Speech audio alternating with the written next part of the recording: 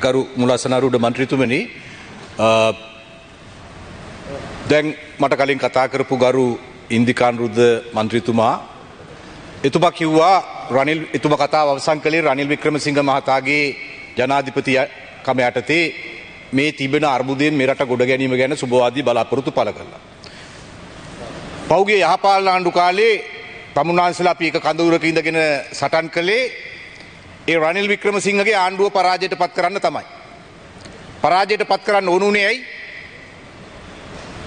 America එක්සත් ජනපදයක්ත් එක්ක ගිවසුම් අස්සං කරන්න පටන් ගත්ත මේ රටේ ආරක්ෂාවට බලපාන.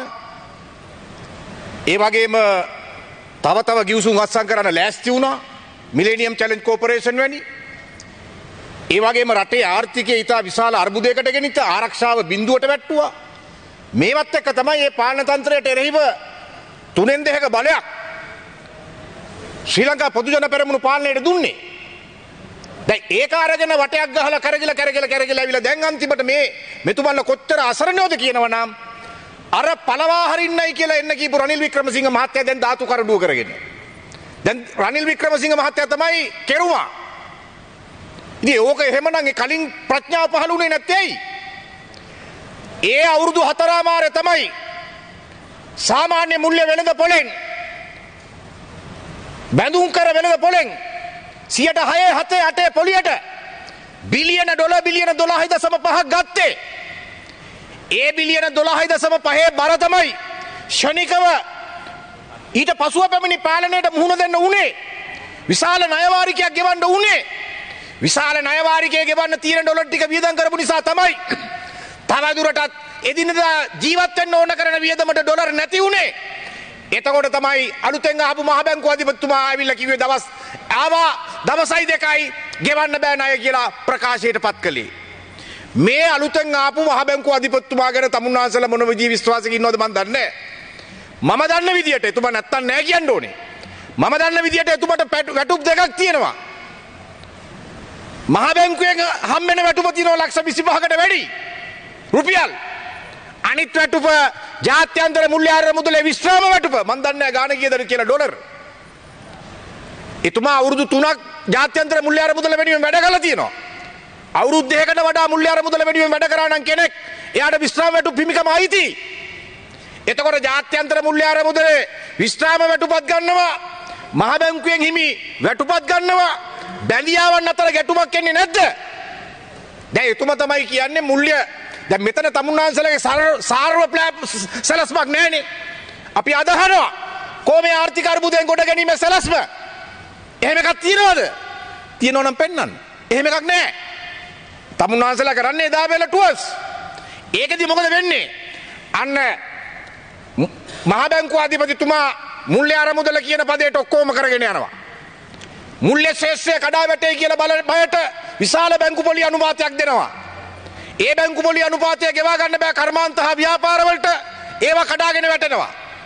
ඒව රැකියා කරන මිනිසු පාරට වැටෙනවා. මුල්්‍ය ශේෂත්‍රය විතරක් දිහා බලාගෙන තීරණ ගන්න අපට අයිතියක් නෑ. මුල්්‍ය ශේෂත්‍රය රැකගන්න ඕන එක තීරණාත්මකයි තමයි. හැබැයි ඒක විතරක් රැකගත්තට ආර්ථිකය රැගෙන්නේ නෑ. දැම් බැංකු ආරක්ෂාවේද සියට තියකට වැඩිය පොලියගෙ වන්න දුන්නම කර්මාන්ත හ ව්‍යාපාරිකයට. ඒ කර්මාන්ත වැහෙනවා. සුළුහා මධ්‍ය පරිමාණ කර්මාන්ත වැහෙනවා. ව්‍යාපාර වැහෙනවා. වැැවුනම බැංකුවට ආදායගෙන කොහෙන්ද? කොලිය ගෙවන්නේ කවුද? නයවාරිකය ගෙවන්නේ කවුද?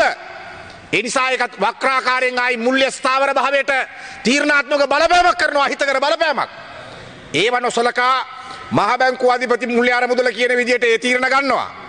දැන් අපට ආරංචි මුල්්‍ය අරමුදල කියනවා දැන් දැන් මේ වෙනකොට රුපිය ඩොලරේ අගේ බැංකුවලට දෙනවා මහ බැංකුව මෙන්න මේ අගේ සිට මේ අගේ දක්වා යන අගයක් තීරණය කරන්න කියලා. ඒ මඟ පෙන්වීම නොකර සම්පූර්ණයම නිදහස් කරන්න කියලා දැන් බලපෑම් කරනවා. මේකේ ගරු මුලසනාරුඩ මන්ත්‍රීතුමනි මේ යන්නේ ආජන්ටිනාව ගිය මාර්ගයේ එක්දස් නමසි අසූ ගනම්වල තමයි ආජන්ටිනාවේ පළවෙනි වතාවට නයවාරික ගෙවාගන්න බැරි වුණේ ඊට පස්ස තමයි මුල්්‍ය අරමුදලේ පෙළවහට ගියේ මුල්ල අරමුදල දුන්න අපිට දුන්න වගේ කැරට්ටලේ පෙන්න්න පෙන්න්න දක්කගෙන ගියා. හත්තර පස්වතාවක් බෑන්ක්‍රාෆුණා නයගෙවාගන්න බැරුව නැවත නැවතත් බෑන්ක්‍රාෆුණා අදත් ආජන්ටිනාවේ අර්බුදය ඇතුළෙම තමයි ජීවත් වෙන්නේ. එනිසා මුල් අනිත්තක ගරු මුලසනාරුඩ මන්ත්‍රතුමනි අපේ අරන්තිය නයවල සියට හතලිස් පාක පමණ පංගුවත් තියන්නේ ස්වෛරී බැඳුම් කරවල ගත්තු අය ඒව ඇවිල්ල යුරෝපයේ ඇමරිකාවේ එක එක දානපතින්ගේ එමනත්තං අරමුදල්වල සල්ලි තමයි ස්වෛරී බැඳුම් කර හැටියට අපි අරගෙන තියෙන්නේ. සියට හය හතේ අටේ පොලියට ඒවා රේෂඩුල් කරගන්නවයි කියනක ලේසි සෙල්ල මන්නවෙයි. එනිසා කෙරෙන්නේ නැති න්‍යාය පත්‍රයක් අපේ ඔළුවට දාලා. දැන් කිසියම් අපි හිතුමු රටවල් වලින් ගත්තු අය එක රටක් කිව්වොත් අපි කැමති නැහැ රේෂඩුල් කරන්න කියලා මුළු එක බනාතයි. සමස්තයක් කරගන්න වෙන්නේ රටවල් වල ණය රීෂෙඩියුල් කරගත්තත් ස්වෛරී බඳුන් කරවල ණය රීෂෙඩියුල් කරගන්න බෑ. ඒවැ පංගුව ප්‍රමාණය වැඩි. එහෙම කරගෙන තියෙනවා ස්වෛරී බැඳුම් කරන අය නොගත්තු රටවල්. එහෙම නැත්නම් පොඩ්ඩක් ගත්තු රටවල් ඒවයින්. එතකොට පුළුවන්. නමුත් අපි නිතාම සංකීර්ණ තත්වක අපේ ලෙඩේට ගැලපෙන බෙහෙත නෙවෙයි මේ නියම කරලා තියෙන්නේ. මේ නියම කරලා තියෙන්නේ පීඩාව දෙගුණ තෙගුණ කරලා මිනිස්සුන්ගේ මත පැටවෙන බර දෙගුණ තෙගුණ කරලා දැන් තමුන්වහන්සලා මේ දවස්වල රබර් කිරිමිල පහත බැහැලා මොකද්ද හේතුව මුලහතානෝ ඉල්ලාසුනාට පස්සේ ගෙන්වුවනේ මේකට മന്ത്രി කෙනෙක්.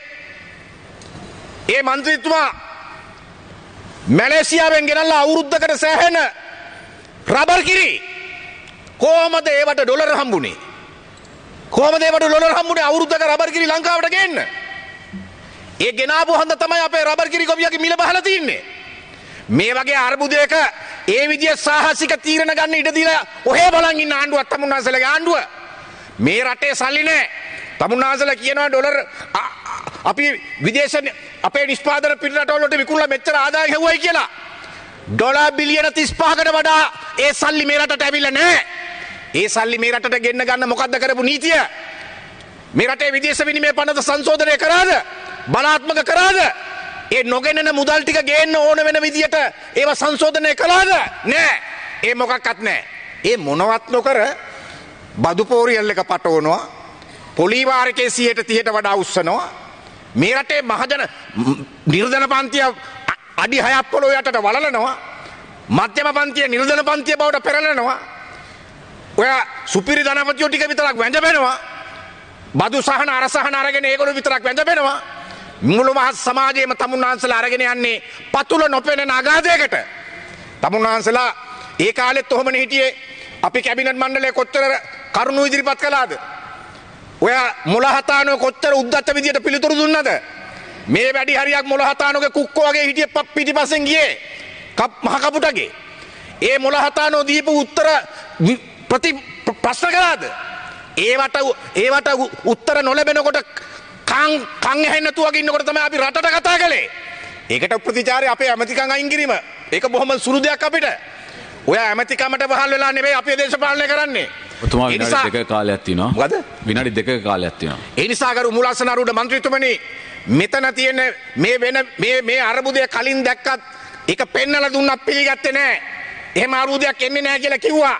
මට මතකයි විදේශ විනිමය අර්බුදයක් නැහැ මේ මනි චේන්ජ් කරන සමාගම් දෙක තුනක ප්‍රශ්නයක් තියෙන්නේ මං සතියෙන් මේක සෙටල් කරනවා කිව්වා මහින්දානන්ද ඇමතුමා කිව්වේ නැද්ද එහෙම ඔය ඔළුව වනන්නේ පොඩ්ඩක් කැමරාවේ පැත්තට යවන්න ඔළුව වනනවා ඒ නිසා එහෙම තමයි මේ එන්න නියමිත අර්බුදය වහගත්තේ එන්න නියමිත අර්බුදයට සංවේදී වෙන එක වැළැක්ුවේ වලක්වලා අන්තිමට මේක දරා ගන්න බැරි වෙන විදියට පතිත වුණාම අන්තිමට හිටපු ජනාධිපතිට දාලා දුවන තත්වයකට පත් වුණා. ඔක තමයි උනේ.